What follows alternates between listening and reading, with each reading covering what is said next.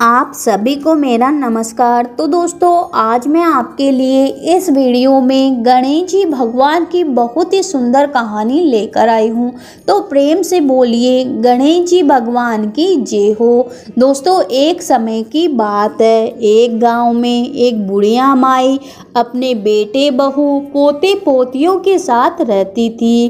गणेश जी महाराज की कृपा से बुढ़िया माई के घर अन्न धन और सुख की कोई कमी नहीं थी। बेटे, बहू, बुढ़िया माई को पूरा मान सम्मान देते थे। बुढ़िया माई अपना पूरा समय गणेश जी महाराज की पूजा अर्चना में व्यतीत करती थी। हर रोज मंदिर जाती, पूजा पाठ करती, कथा कहानी सुनती थी, भजन कीर्तन करती थी। एक दिन बुढ़िया माई का छोटा बेटा बोला कि, माँ गणेश जी की इतनी पूजा पाठ करती हो? और गणेश जी महाराज का भी आशीर्वाद तुम पर है। उन्हीं की कृपा से अपने घर में किसी चीज़ की कोई कमी नहीं है।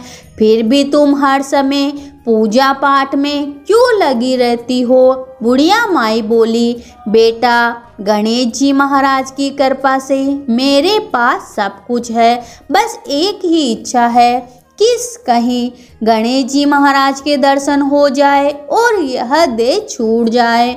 माँ की बात सुनकर बेटा हंसने लगा और बोला, माँ गणेश जी महाराज ऐसे नहीं मिलते।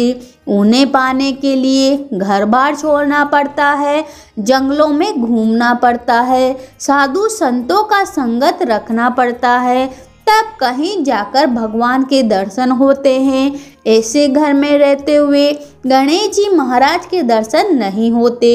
छोटे बेटों की बातों का बुढ़िया माई के मन पर ऐसा प्रभाव पड़ा कि बुढ़िया माई अगले दिन ही अपने घर से चल दी। चलते चलते उन्हें रास्ते में एक और बुढ़िया माई मिली। वह उनसे पूछने लगी, बहन भगवान का भजन करते कहाँ जा रही हो? तो वह बोली कि भगवान के दर्शन करने जा रही हूँ। तो दूसरी बुढ़िया माई बोली कि अच्छा मंदिर जा रही हो। वह बोली कि नहीं, मंदिर नहीं, मैं तो साक्षात गणेश जी के दर्शन करने जा रही हूँ। तब दूसरी बुढ़िया माई बोली कि मैं भी तुम्हारे साथ चलती हूँ। तो वह बोली, चलो अब दोनों बुढ़िया माई गणेश जी भगवान के भजन करती हुई चलती जा रही थी। कुछ दूर पर उन्हें एक और बुढ़िया माई मिली।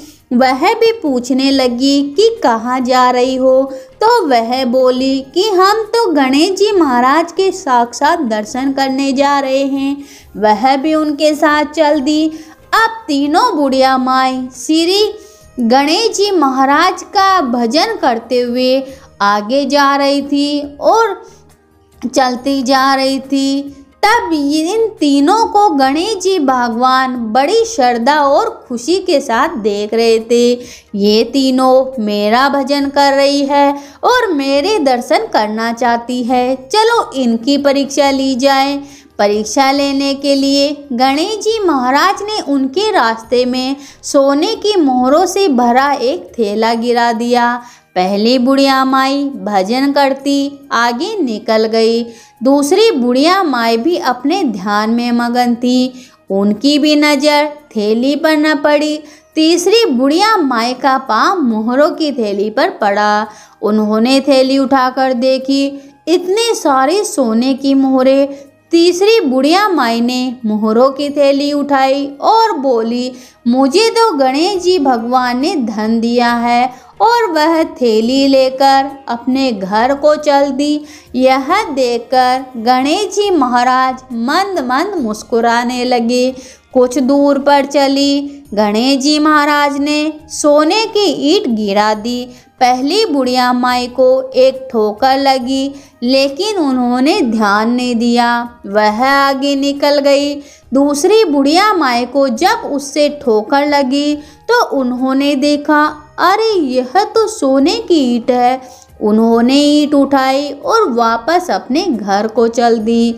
बोली, जब गणेश जी भगवान ने धन दिया है तो वन वन घूमने का क्या फ़ायदा?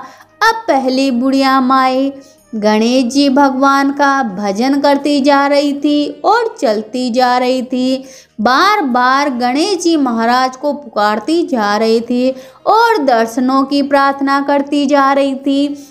इस बार गणेश जी भगवान ने हीरो मोतियों के ढेर पर बुढ़िया माई को गिरा दिया। बुढ़िया माई ने देखा इतने सारे हीरे मोती, लेकिन उसके मन में लालच नहीं आया। वह बोली कि, हे प्रभु, अब आधे रास्ते में पीछा छुड़ाना चाहते हो। ऐसा कहकर गणेश जी महाराज का जय जयकारा बोलती और आगे चली। भगवान ने खूब आंधी तूफ़ान, बरसात चलाई। परंतु बुढ़िया माए अपने पण से टसनमस हुई। बेसुध हो गई, लेकिन भगवान का भजन नहीं छोड़ा। तब गणेश जी महाराज बुढ़िया माई के सामने प्रकट हुए। उन्हें दर्शन दिया और बोले कि बुढ़िया माई माँ क्या मांगती है? तो वह बोली कि गणेश जी महाराज, आखिरी इच्छा आपके दर्शनों की थी। आपने दर्शन देकर मेरा जीवन सफल बना दिया। ऐसे कहकर बुढ़िया माई गणेश जी महाराज के चरणों में गिर गई और वहीं उन्होंने प्राण त्याग दिए। गणेश जी महाराज एक सुंदर विमान में उतरे और स्वयं बुढ़िया माए को ले जाकर बेखुंड ले गए। तो दोस्तों, यह कहानी आपको कैसे लगी? आप हमें कमेंट बॉक्स में बताइए। कहानी सुनने वाले, हुकारा बनने वाले, सभी पे गणेश जी महाराज अपनी कृपा बनाए रखे, सभी की मनोकामना पूरी करे। तो प्रेम से बोलिए, गणेश जी भगवान की जय हो।